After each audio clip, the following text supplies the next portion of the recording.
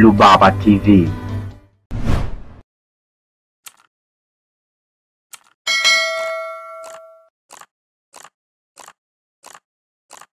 Karibu tena mpenzi mtazamaji wa lubaba TV, na tupo katika eneo letu pendwa kwa ajili ya kuweza kupeana maarifa mbalimbali na mambo kadha kadha kuhusiana na kilimo na ufugaji.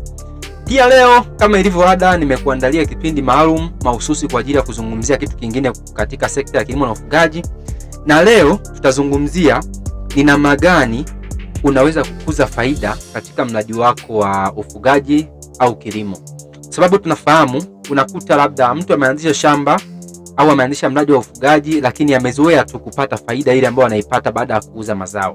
Lakini pia kuna namna ambazo unaweza ukafanya na ukajikuta umejitengenezea kipato kabisa nje ya kile kipato ambacho umeuza mazao, au ukajiongezea na, ku, na kujiongeza zaidi na kujitengenezea kipato kingi kama tofauti na ilivyo kawaida. Hicho ndio tutakachoweza kukizungumzia kwa leo. Kwa hiyo tutaweza kujifunza, tutaweza kufahamu. Fanya kusubscribe kama ni mgeni, lakini pia mjulishe na mwenzako ili aweze kufahamu vitu kadha wa kadha. Lakini pia kama hujabofya uja, uja alama kengele, pia unaweza ukabofya alama kengele hapo ili kuweza kuwa mwanafamilia wetu.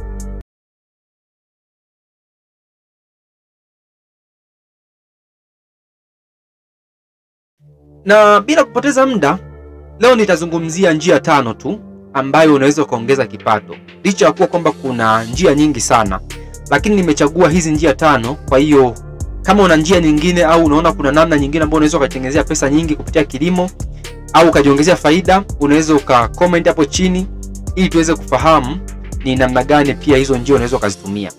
Kwa kwanza, kwanza tunaweza tukaanza na njia ya kwanza ambayo nje ya kufuga tu unaweza ukatengeneza butchers, lakini pia kufanya packaging ya bidhaa za nyama. Hapa tunazungumzia labda mtu unafuga kuku au unafuga mfugo aina yoyote, badala ya kuishia tu kwenye kufuga, unaweza ukajikuta unaongezea thamani. Namaanisha kwamba unachinja hiyo nyama, lakini pia una package.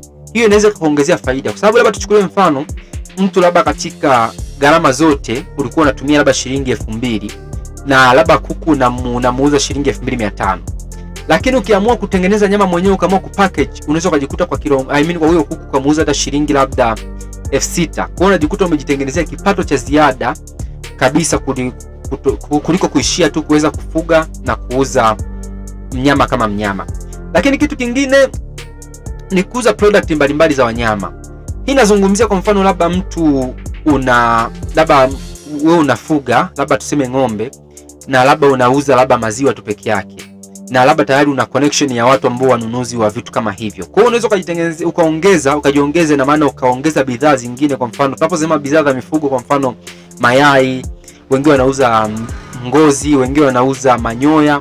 Kwa hiyo unaweza ukajitofautisha kwa namna hiyo na ukajikuta umepata kipato cha ziada kupitia mradi ambao unaofanya. Labda unauza ng'ombe tu, baada ya kuuza maziwa pia ukajiongeza kwa namna tofauti, ukaanza kuuza product zingine za kilimo. Lakini pia kukodisha vifaa pia inaweza ikawa ni njia nyingine ya kujiongezea kipato. Kwa mfano, labda wewe mtu una una shamba lako na una vifaa mbalimbali ambavyo vinatumika katika kufanya miradi mbalimbali. Kwa mfano, labda una tractors, una planters na vitu kama hivyo, labda una, una space kwa ajili ya kuweka ghala, na maanisha badala ya kuweza kutumia wewe tu unaweza ukakodisha kwa watu au ukakodisha space kwa ajili ya ghala au ukafanya kwa namna hiyo na ukajikuta umejiongezea kipato cha ziada. Kwa mfano, labda uko unatumia trekta peke yako unaweza ukakodisha ukajikuta umepata kipato kingine cha ziada. Kwa hiyo hiyo ni namna nyingine ambayo, ndugu mpenzi mtazamaji, unaweza ukaitumia na ikakusaidia. Lakini pia kitu kingine ni kuongeza thamani. Hapa tunapozungumzia kuongeza thamani katika miradi yako, labda tuchukulie mfano, mtu anafanya kilimo cha miti.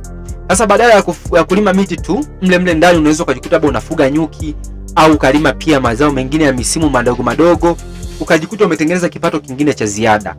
Lakini pia kwa mfano, labda mtu una shamba lako na hilo shamba labda liko vizuri, unafuga, unaweza ukaitumia hiyo kama sehemu ya mafunzo na ukajikuta watu wanalipa ada na unaweza ukajipata kipato kingine cha ziada kabisa ambacho hukutegemea.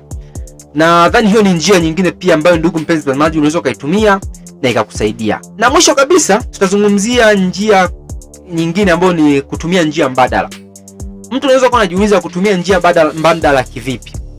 Labda tuchukulie mfano, mtu labda alikuwa analima labda shamba, lakini pia au labda anafanya anafuga, badala ya kutumia labda mbolea za za viwandani, mtu unaweza ukatumia mbolea ya asili. Labda mtu badala ya kutumia umeme wa kawaida katika shamba lako ukatumia umeme wa biogas kwa namna hiyo. Kwa hiyo unajikuta una, una, unapunguza gharama kwa kutumia njia mbadala. Kwa mfano labda ulikuwa unatakiwa kulipia labda elfu kumi kwa mwezi kwa kwa hesabu ya umeme tu, unaweza ukatumia biogas, au labda ulikuwa unatakiwa ununue labda kilo ngapi labda za mbolea, ukatumia labda mbolea ya asili na ukajikuta umepunguza gharama, lakini pia kwa namna hiyo hiyo umeweza kuongeza kipato. Sasa ni hicho tu ambacho nilitaka tuweze kushare na kuweza kujifunza kwa siku ya leo, na ni tumaini langu umefahamu na umepata kitu. Usiache kusubscribe kama ni mgeni, lakini pia mjulishe na- na mwenzako, lakini pia unaweza kwa comment kwa chochote hapo, na sisi tutaweza kusikiliza. Naitwa Imani Rubaba na hii ni Rubaba TV. Mpaka wakati mwingine, na asante.